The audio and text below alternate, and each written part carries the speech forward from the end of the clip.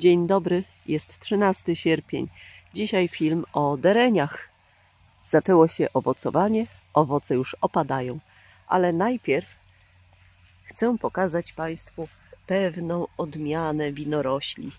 Właśnie kitek nadszedł, wie gdzie się położyć, bo owoce są, rzekłabym, przednie. Niczym najlepsze trunki z czasów szlacheckich, ułańskich. Haha, dobre sobie. Tylko kto ich próbował z żyjących? Tak żartobliwie mówiąc. Dobrze, słuchajcie, to jest odmiana winogronka o nazwie Einsete Seedles. Bezpestkowe. Sadzonki kupione dwa lata temu. Jest film również. Jak nie zapomnę, wrzucę link od którego sprzedawcy kupiłam. A kupiłam trzy różne odmiany. Ta ma pierwszy raz owoce. Bardzo słodkie. Grona będą dużo, dużo większe. Jest ich w tej chwili z 8. I polecam Państwu. Wejdźcie w link, który wrzucę w opisie pod filmem. Tak, Kiciuś? Wyciśniemy soczek słodki? Wyciśniemy? A gdzie Ty oko wsadzasz? Einsete Seedles. A teraz dereń. Ta odmiana, a mam ich kilkanaście, o czerwonych owocach, o żółtych i o takich z lekko pomarańczowym przebarwieniem. Otóż ta odmiana nazywa się korałowy marka dereń jadalny, inaczej dereń właściwy, Cornus mas. Piszemy Cornus mas mówimy. Ten krzaczek wreszcie zaczął plonować. Owoce z niego opadają. Powinna tu zostać podłożona jakaś firanka, czy też karton, czy choćby parasol, jak widziałam e, również na filmach. Panie Mariuszu, pozdrawiam pana. O właśnie, a sadzonkę kupiłam w sklepie Kornus u pana Zasępy. On ma przeogromną ilość odmian. Klękajcie narody, powiem tak. E, I tak, ten dereń, powiem, jest bardzo duży. Mam większe, ale słuchajcie. Po prostu błyskawicznie urósł po odcięciu u nasady podkładki, na której był zaszczepiony. Tylko teraz tak, czas leci szybko, dużo się dzieje. Ja nie pamiętam, czy bardzo wczesną wiosną, czy późną zimą odcięłam tą lewą stronę, podkładkę. Wydaje mi się, że było to wiosną. I on ruszył mega, mega, mega, mega ze wzrostem mega, mega. Drugie, trzecie tyle, bo wysokości był ponad no, około 70 cm. Teraz zobaczcie, ma 1,80 m. I tu z boku, czyli warto obcinać jest te podkładki, te, te właśnie dzikie derenie. To cała ilość gałązek. Nie wiem, czy jest nadal z tej podkładki, która jeszcze pewnie gdzieś tam głęboko w ziemi jest, czy jest to od mm, korałowej marka odmiany. Ale teraz przejdźmy dalej. Jest to teraz super, super czas na przycinanie derenia, o ile ktoś chce to robić. Ja w pierwszych latach upraw, a mam 10 lub 11 rok derenie już, nie robiłam, bo szkoda mi było, bo dereń wolno rośnie, wiecie, i tak dalej. Teraz już mam tej, nazwijmy to wiedzy deko więcej i zaczynam cięcie, w tym roku zwłaszcza. Ewenemencik taki w świecie jakby owoców przyrody, to jest to, że równocześnie, gdy mamy owoce, Mamy też widoczne zawiązki przyszłorocznych owoców, takich jak tu. I wiemy, gdzie uciąć, tak? Bo gdybyśmy, czyli ucinamy przed, tu mamy początek, początek gałązki, czyli ucinamy przed zawiązkiem. Tu mamy zawiązek, zostawmy listki, utnijmy tu, odetnijmy tą część. A gdybyśmy chcieli ciąć w czerwcu, Hmm, hmm. To byśmy ciachnęli i pozbawili się owoców. Piękna sprawa, co? Derenie jadalne. duży udział pestki. Trzy czwarte wielkości owoca to jest pestka, które prażymy. Można właśnie jeść. We wrześniu co roku już, nie wiem, 10 lat, długo. W każdym razie odbywa się festiwal derenia. Arboretum w Bolestraszycach. Tam można posmakować cudownych odmian o wielgachnych owocach. My teraz przystąpimy do zbioru, bo tych drzewek troszkę jest. I tak jak widzicie, powinno być tu wcześniej zebrane, bo mamy psujące się już. No to się nie nadaje. Więc trzeba będzie wyłuskać, przebrać to co najlepsze. Taki odcień ma korałowy marka odmiana. A ja idę, nagram inne derenie. A tu popatrzcie, jak pięknie. Tu nie muszę ciąć. Nie ma potrzeby. Ale tak jak tu pokazałam, to to sobie ciachniemy. Proszę bardzo i, i już. Czy tu obciąć?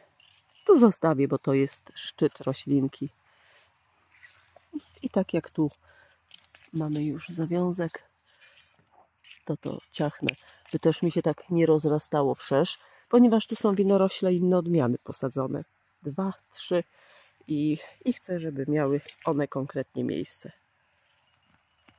A gdy przyjdzie jesienią pora, to y, obejrzę, czy to wychodzi z dziczki, z podkładki. W razie co usunę. No patrzcie, jest pomocnik.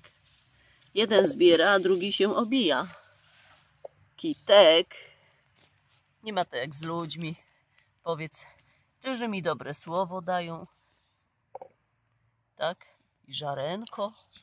Ale kotek już taki jest, wiecie, że troszeczkę narzeka.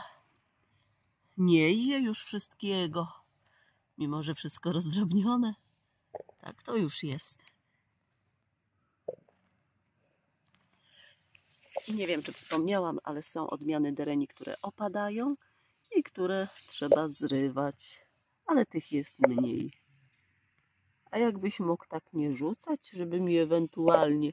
O, reklamację składam, zepsuta, zepsuta. Dwa tygodnie oczekiwania. Dwie wywalamy. O tak, no właśnie, trzeba przebierać. Nie. Oj, pieszczoch jeden, no.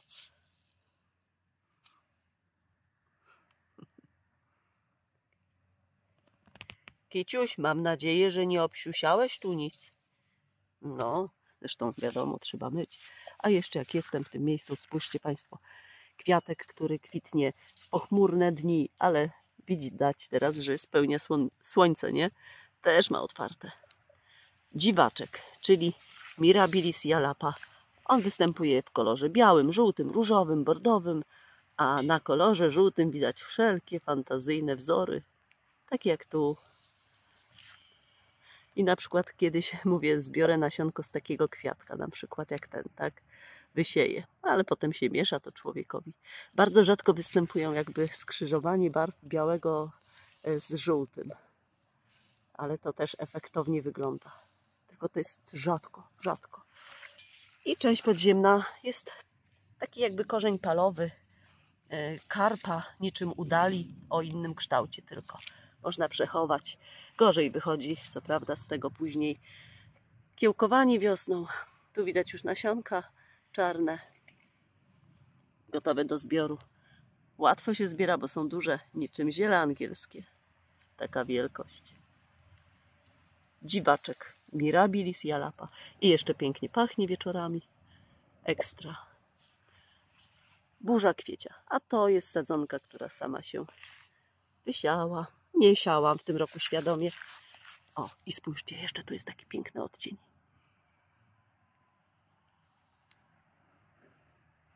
I film miał być o dereniach, ale zawsze coś.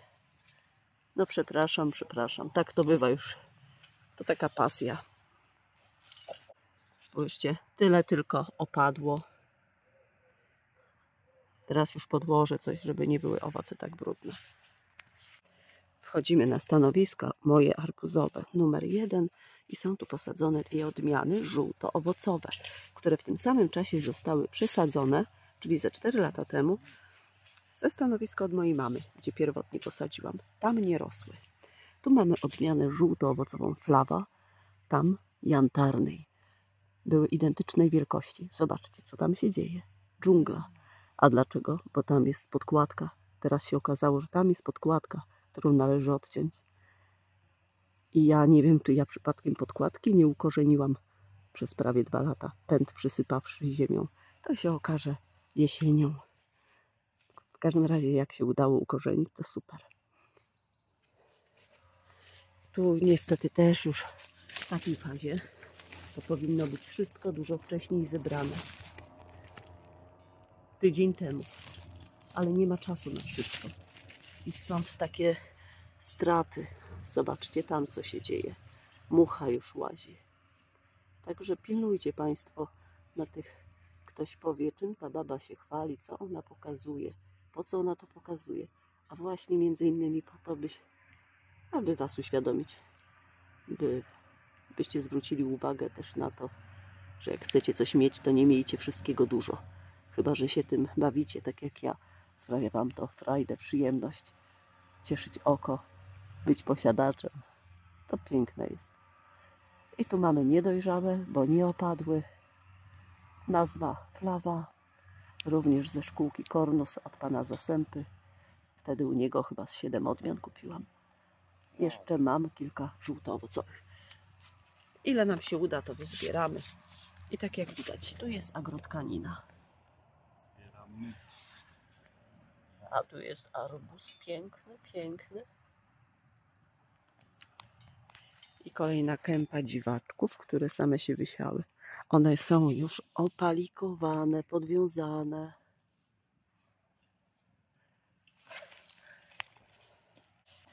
A jak już tu jestem, zobaczcie.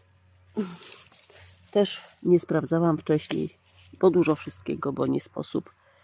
Był taki arbuz. Był i go nie ma. Także chodząc, sprawdzając, wyszukujemy, co jest złe, jaki owoc padł, tak, żeby pozbyć się go, żeby moc roślinki szła w owoce zdrowe na tej samej sadzące.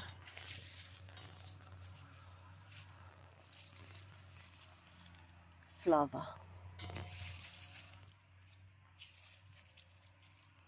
A z żółto-owocowych mam jeszcze alosze i nieżny, ale to właśnie w innej lokalizacji u mamy, już stamtąd nie zabieram, niech tam rośnie. Na co jeszcze uwagę zwrócę, to to, że odmiany również, tak jak i arbuzy, jak kwiaty, jak ogórki, jak, jak wszelka inna roślinność, są odmiany bardziej i mniej na suszę narażone. I porównując te dwie odmiany, flawę i odmianę jantarnej, flawa jest dużo bardziej podatna na suszę. Spójrzcie na lewą stronę, na liście.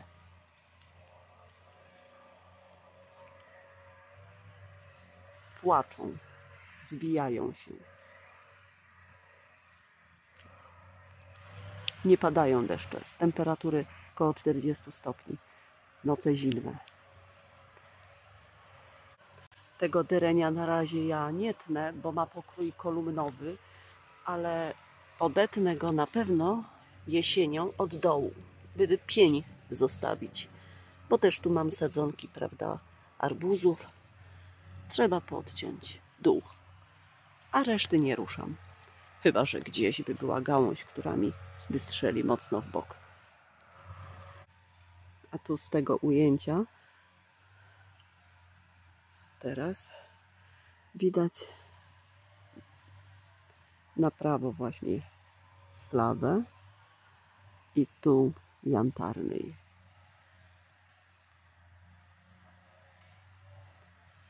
Za tą gigantyczną kanną Black Knight odmiana taka urosła. Ma pod 3 metry, 2,5 metra ma.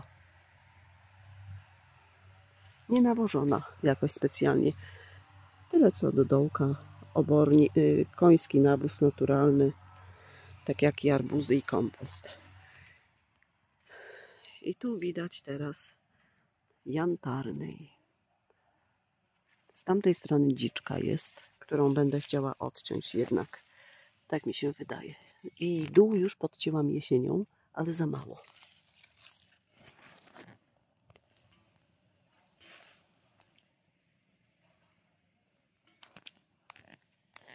Podlewane rzadko, ale już jest przynajmniej dwa razy w roku, jesienią i wiosną.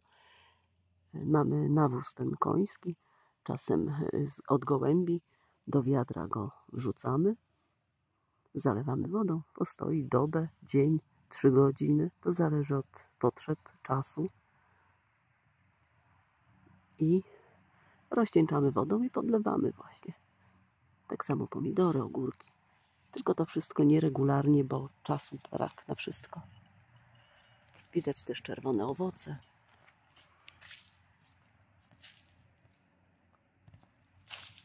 Parao, odmiana arbuza. I tu, zobaczcie, idziemy do części tak zwanej dzikiej derenia.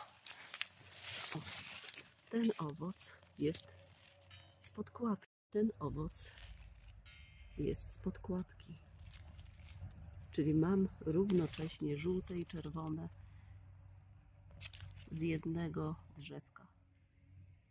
Też psują się, też powinny być zebrane wcześniej. Na szczęście są jeszcze derenie, gdzie nie opadają owoce i tam zdążę podłożyć pod drzewko coś. W 2018 roku kupiłam od pana zastępy właśnie kilka tych odmian i dopiero w tym roku okazało się, że są, jest na podkładce część wybitej, tak, to co wspomniałam. I stąd dopiero teraz w tym sezonie zyskałam wiedzę, że mam czerwone też tu owoce. No i tu zobaczcie, tak długa gałązka, nie ma żadnych zawiązków, bo dereń dziki używany do podkładek, czyli ten dereń właściwy, tak, on jest soczysty, ale on bardzo późno zawiązuje owoce, porównując derenie szlachetne, odmianowe. Tu na razie nie tnę, poczekam do jesieni bardziej. I tak, prawie dwa lata temu przysypałam najniżej rosnący pęd ziemią, by ukorzenić z gałązki. To ukorzenianie jest bardzo trudne. Ja już wiem, że się udało. To jest prawie dwa lata, ponad półtora roku. I w tym roku będę chciała odciąć, ale w zasadzie jeszcze się zastanawiam, czy jesienią, czy wiosną odciąć to, co ukorzeniłam. Tak, to jest dziki. Na pewno dzika część, no szkoda.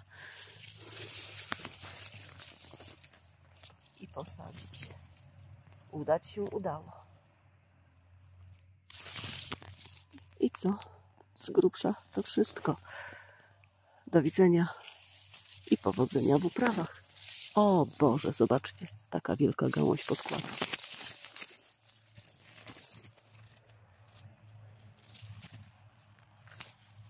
A może zostawić? A tu żółte.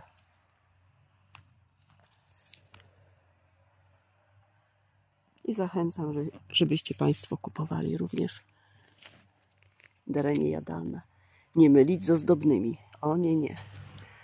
Derenie jadalne. I sadźcie arbuzy. Odmiana tamtam. O, jeszcze jedno. Kolego Marko, zobacz.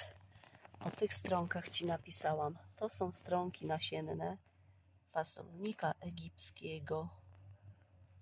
Niejadalne ma stronki. Nie mylić z chińskim. A zaraz, i to, tylko mam jedną sadzonkę na rozsadę 26 marca. Wysiany był, tylko się jedna uchowała. To są jego liście.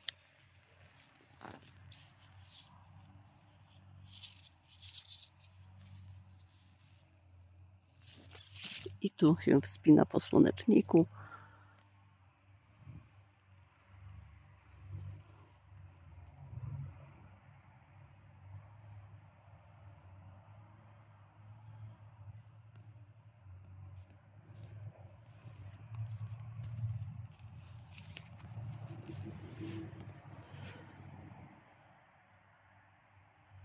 Słońce jest w tej chwili ostre.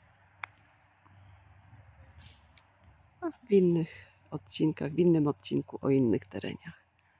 Do widzenia. Czyli flawa. Jeszcze co dodam, o jaki piękny zapach.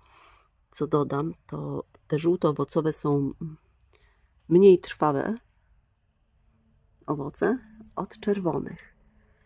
Są łagodniejsze w smaku. Korałowy i marka.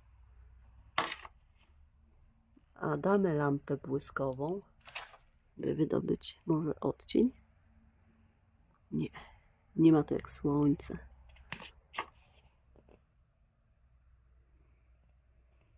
Lekki pomarańcz wpadający. I takie, takie oto arbuzy. Tak niewielkie urosłe.